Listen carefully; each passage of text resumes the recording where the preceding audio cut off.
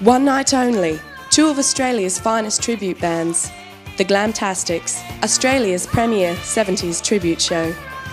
Featuring Peter Cole and Deb Starr, you'll be living in the 70s.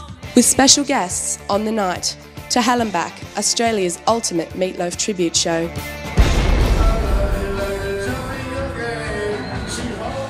Also featuring on the night, a special performance by Tony Dee from the world's number one Doors tribute band, Absolutely Live, The Doors Show.